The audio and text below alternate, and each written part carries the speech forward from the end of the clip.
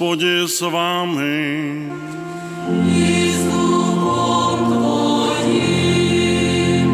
Читання Святого Євангелія від Матея.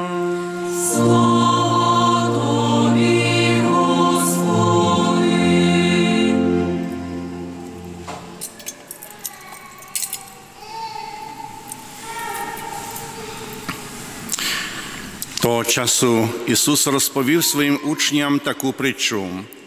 Царство Небесне подібне до господаря дому, який вийшов рано вранці наймати робітників для свого виноградника і, домовившись з робітниками по динарію за день, послав їх до свого виноградника.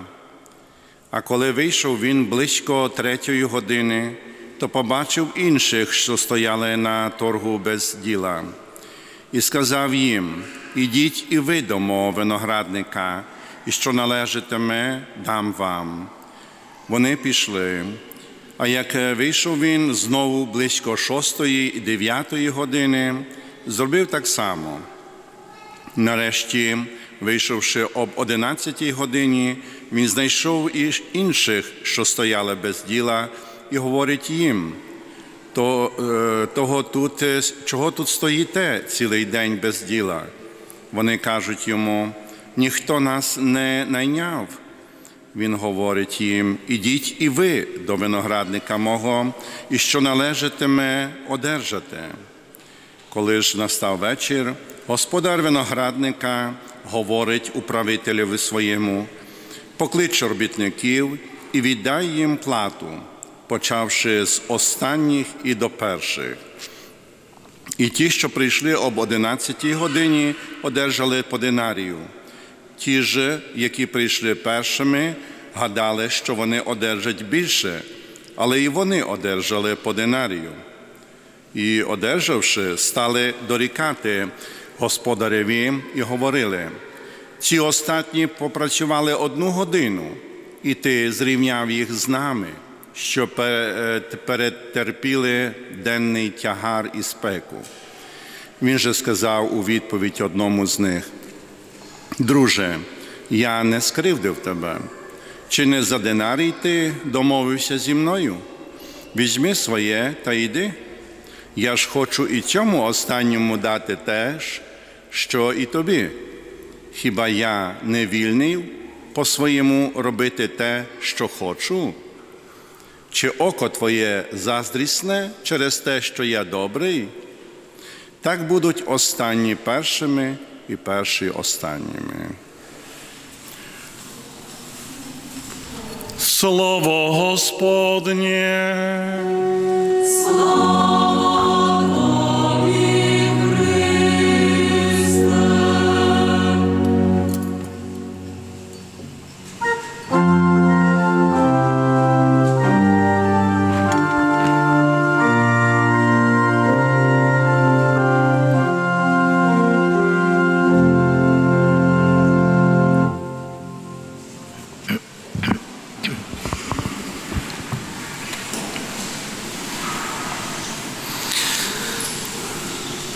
Всечесний Отче, дорогі слухачі Радіо Марія, телеглядачі, телебачення, віковічного слова, дорогі браті і сестри в Христі. Думаю, кожен з нас в житті зустрічався із шахрайством, шахрайством, обманом, аферизмом, брехнею, з нечесністю. Дратує нас ситуація, коли нас ошукують наприклад, не додають здачі в магазині, що буває, коли щодо нас виявив хтось несправедливість, порушив певні правила чи закон щодо мене. Дратують нас такі ситуації. І дуже багато є їх в нашому житті, щоденно трапляються. Ну, якщо так поступають люди, то нам би хотілося, щоб з Богом було по-іншому. Це логічно. І віримо, що з Богом так не є. Віримо, що Бог є справедливим. Ми очікуємо, власне, від Нього справед... бачити Його справедливим судею, який за добро винагороджує, за зло карає, як знаємо з одних з однієї із головних, із головних прав віри католицької церкви. І що, власне, Бог оцінює завжди справедливо. Передусім ми очікуємо цього від Нього. Оскільки цей світ, в якому ми живемо, є повний норм і законів, які постійно порушуються, то сподіваємося також, що майбутній світ, а тобто Царство Небесне, буде зовсім інший. Сподіваємося, що цей світ буде, нарешті в ньому запанує справедливість, світ, в якому Бог стане по стороні слабших, використаних, обманутих. Ну і так буде, звичайно. Тим часом Євангелія в багатьох місцях має в собі такі фрагменти, які можуть провокувати в нас бунт, розбрат, а навіть внутрішнє обурення і протест. Особливо Євангелія, яку ми почули сьогодні, уривок Євангелія від Матея. А читаючи, слухаючи цей уривок, можна чисто по-людськи обуритись. Слово Боже, яке нам подає сьогоднішня літургія, може викликати в нас почуття несправедливості, бунт проти Бога, проти власне цієї Його справедливості, як нам може здаватися, це не є правдива справедливість. А чому?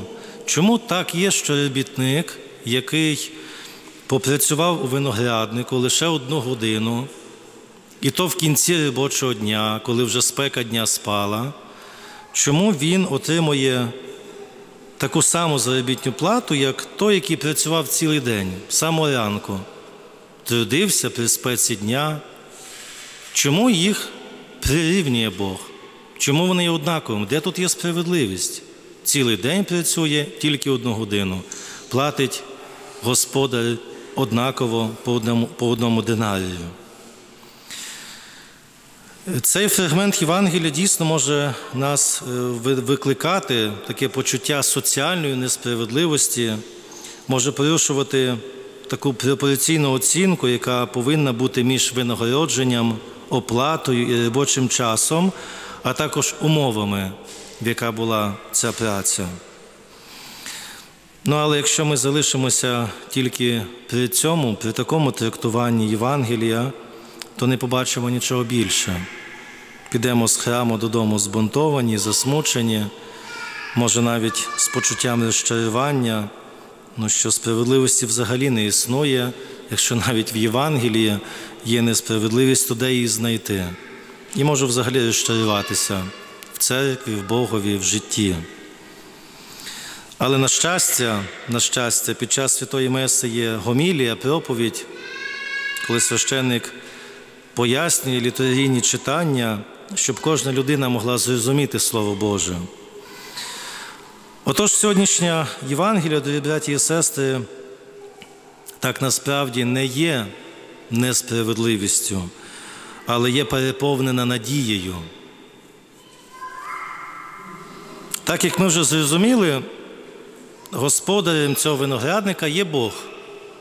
Бог, який дбає, дбає дуже про свій виноградник. В пору, коли відбувається збирання врожаю, він не хоче, щоб з цього виноградника припали плоди, бо вони можуть обсипатись на землю, просто змаринуватись. Господар бачить, що немає достатньої кількості робітників, а тому виходить на ринок і наймає всіх, кого зустрічає, кого бачить, хто стоїть, чекає, щоб його найняли на роботу. Говорять їм іти до виноградника свого, працювати цілий день праці за один динарій. В часи Ісуса це була звичайна плата за день праці, один динарій. Зауважмо те, що господареві дуже залежить на на його винограднику, дуже залежить, тому що виходить аж п'ять разів шукати робітників. Зранку, потім о третій, о шостій, о дев'ятій і об одинадцятій. Знає господар, що жниво є велике, не хоче змаринувати ці жнива, робітників є мало, а тому виходить і шукає, і знаходить. Багато є тих, хто шукає праці, знаходить їх. Цікавинка така, якщо прочитати Євангелію в грецькій мові, тобто в мові оригіналу, можна знайти там певну деталь, що господар, коли виходить ввечері, тобто останній раз об 11, як пише нам Євангелія, щоб знайти робітників на цю останню годину праці, то згідно тексту оригіналу вони стоять на ногах. Ця деталь є дуже важлива, бо можна чекати, лежачи, сидячи. В Євангелії, яку ми почули в перекладі, написано стояли, але в оригіналі звучить стояли на ногах, тобто підкреслюється те, що вони цілий день стояли, чекали. Вони цілий день були на ногах на ринку, на цій самій спеці дня. Чекали, щоб їх хтось найняв на роботу. Ну і взагалі ця притча, яку ми почули, в якій говорить Ісус, послуговуючись робітниками, які чекають на день праці, це є чиста правда. Ісус ніколи не видумував, не видумував чогось, але користався мовою, яка є зрозуміла для тих, до кого він примовляв. Ось було подібне, власне, 2000 років тому, і сьогодні так само є, коли виходять робітники, чекаючи на день праці. Вдалося мені, до речі, теж з отцем Петром, з братом Себастіном побувати в березні цього року на святій землі. Я на власні очі це побачив. Ми жили в готелі у Вифлеємі, це територія Палестини. І коли вранці ми перетинали кордон Палестини і Ізраїля, да, бо там є кордон, власне, тоді я зрозумів, про що говорить Ісус в цій притчі. Понад дорогою стояли навіть не десятки, мабуть, сотні, дуже багато, дуже багато чоловіків, палестинців, які перейшли кордон на територію Ізраїля і чекали, щоб їх хтось найняв на день праці. Просто чекали при дорозі. Якщо ніхто не найме, не найме, ну то все, сьогодні не буде плати, щоб прокормити свою сім'ю. Так є сьогодні, так було 2000 років тому. Виходили і чекали. І, власне, зранку, самого ранку, вони вийшли на ринок, чекали. Вони не є винні в тому, що, що їх ніхто не найняв. Не чекали так, як і всі. Одним повезло, другим не дуже. І саме тому господар, ось цей, який вийшов ввечері, побачив їх, що вони ще стоять, він змилосердився над ними і запросив у свій виноградник. Проявив милосердя. Та, можливо, господар був ну, вражений їхньою витривалістю, що вони не пішли додому, цілий день стояли на спеці з надією, з надією, що хтось їх найме. Не йшли додому, значить, не були ліниві. Бо лінивий робітник почекає півгодини, ніхто не наняв, а піду відпочивати. Цілий день стоять, чекають, відповідально чекають, щоб заробити гроші, щоб утримати свою сім'ю. Отож, дізнаємося з цієї притчі, що Бог, власне, який є господарем тут в цьому випадку, він є не тільки справедливим, але ще більше є милосердним.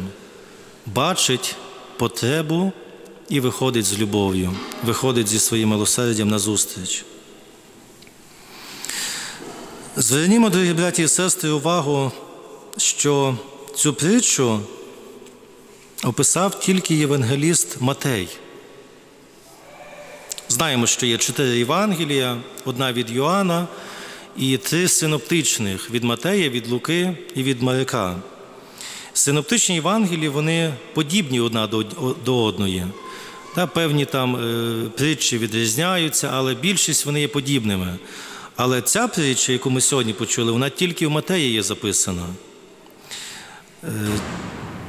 Чому так відбувається? Чому так сталося? Тому що теж кожен із цих євангелистів писав Євангелію до різної категорії людей. Сьогодні ми разом, всі християни всього світу, чуємо одне і те саме.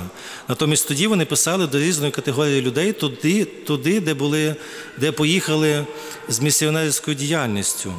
Наприклад, Лука писав до язичників, які стали християнами, щоб їм легше було зрозуміти. Е, Марко писав в такому стилі, щоб е, і писав в Римі е, для римлян. Та, писав саме для них, щоб їм легко було зрозуміти Євангелія. А Матей, Євангелію, яку ми сьогодні чули, він писав для євреїв. Тобто він адресує добру новину Ісуса для євреїв, які не прийняли Месію, і прагне їм показати, що незважаючи на те, що ви не прийняли в свій час Христа і розіп'яли Його на Христі, все одно можете бути спасенням, спасенними, якщо сьогодні відкриєте свої серця на, на Євангелію Христа. Пише, власне, до євреїв, до, до народу Ізраїля. Якщо взяти старий заповіт, виноградник е, в старому заповіті він завжди виступає в ролі власне ізраїльського народу, народу, який був улюблений, який був вибраний Богом. І тому святий е, Матей, власне, пишучи Євангелію спільноті церкві, в якій служив в Ізраїлі, прагне їм нагадати через цей образ виноградника, що євреї, як і язичники, як і всі інші, які будуть готові відповісти на Божий поклик, то ві- які війдуть до виноградника, тобто до церкви, до спільноти церкви, то вони отримають таку саму нагороду. У Бога нема, немає якихось відрізнянь, Бог не відрізняє людей. Якщо ти війшов, всі є однакові перед обличчям Божим. Власне, кожен, хто потрапить до неба, до Божого виноградника, отримає ту саму плату. Незалежно від того, чи ходив я до церкви з дитинства, чи мене батьки привели, охрестили в дитинстві, чи я навернувся в дорослому віці, чи я покаявся лише перед смертю. Така є логіка і милосердя Бога.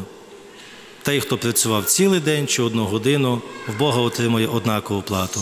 Головне, що ти чекав і відкрив своє серце, щоб війти до цього виноградника.